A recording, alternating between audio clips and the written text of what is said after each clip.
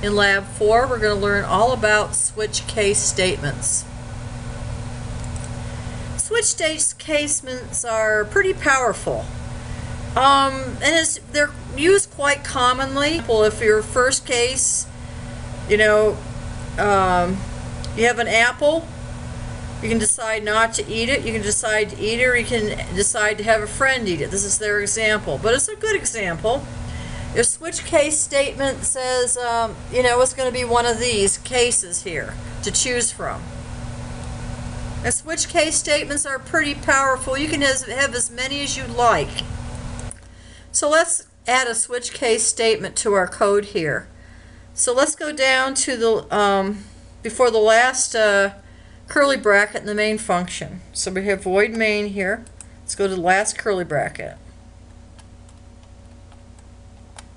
Right here, right after send move, I click enter. And now I'm going to change whose turn it is. Put my note in here.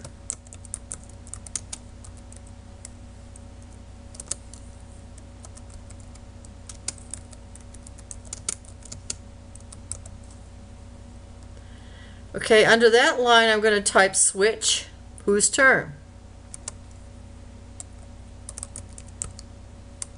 Spell it right, Hadley.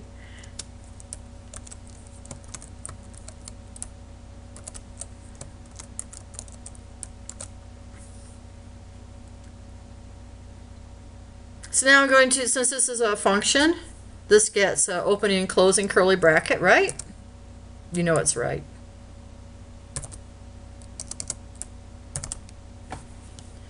So what I type inside the curly brackets? I can type case 1.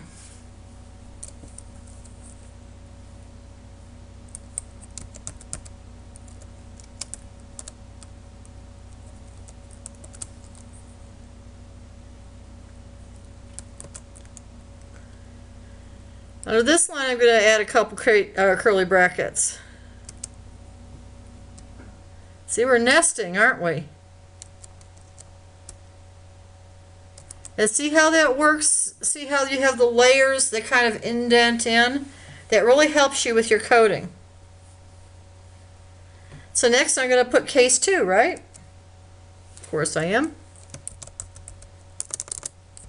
Can't capitalize it. You guys got to watch your capitalizations. Once again, curly brackets because it's a function.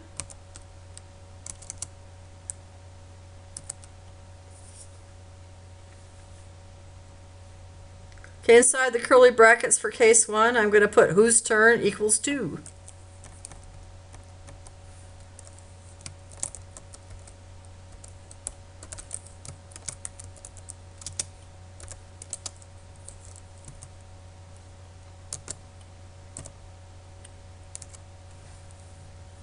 I better indent that.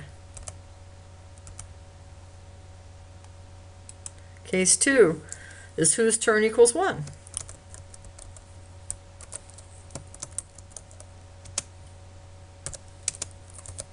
Don't forget your semicolons.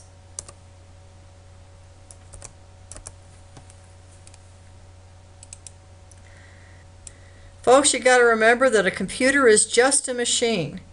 All it reads are lights on and lights off, right?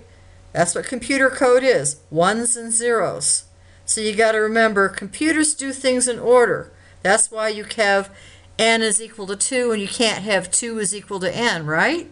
Because it has to be in a certain order because that's the way computers are. In this case, the computer reads the code from top to bottom. And so um, since whose turn is equal to 1, it turns the case into 1. But it never gets to equaling 2, so we're going to change that real quick. So what does the command break mean? It means to stop running the code inside the command. In this state, in this case, end the switch. It'll change whose turn it is, and then it will leave, so it won't go to the second um, turn. So if this first case is true, what this will do is it will take it out of the switch so that this case 2 is not going to run right after case 1 runs. See, normally what happens with the computer is it run, would run case one, and then it would run case two, so you'd always have player one having a turn. That this pulls you out of the situation. That's what we're talking about here with the command break. So that is why in case one here, we're going to add a break command. Just type it in here after whose turn is two, tab. Just type break. Put your little semicolon in there. So now we're going to tell, have it put the X in. So I'm going to put in here board move equals X.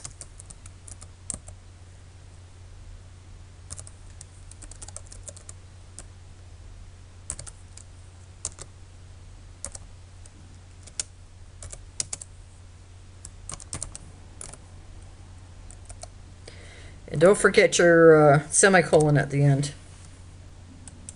So obviously now I got to put the board too, so I can put an X in there uh, wherever they want that um, movement to go. I got board move equals O for the other guy.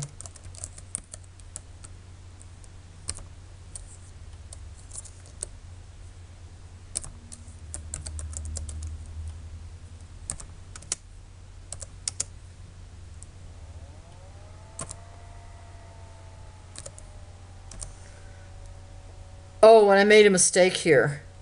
You got to put single um, single quotation marks, not double. The reason we don't use capital letters in here for the X and the O is that a lot of people mix up the the capital O with a letter zero. I mean with the number zero. So now that we've got the moves in, we want to the program to update the board with the latest player move. So you want to show the board again. So you're going to um, add this. We're going to call the show board statement. I'm sure, sorry, the show, show board function. So I'm going to go right before the last uh, bracket in the main statement, right here. I'm going to click enter, and I'm going to show the board.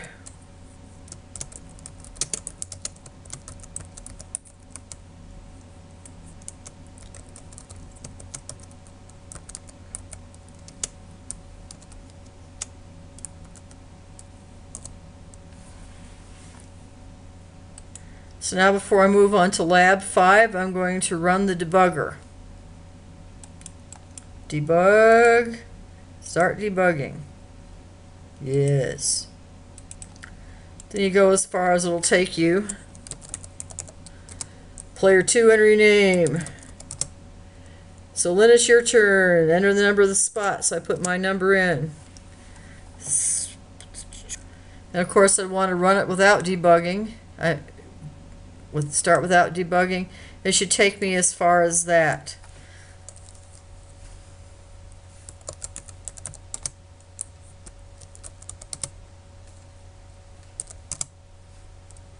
And there you go. That's the end of uh, lab four.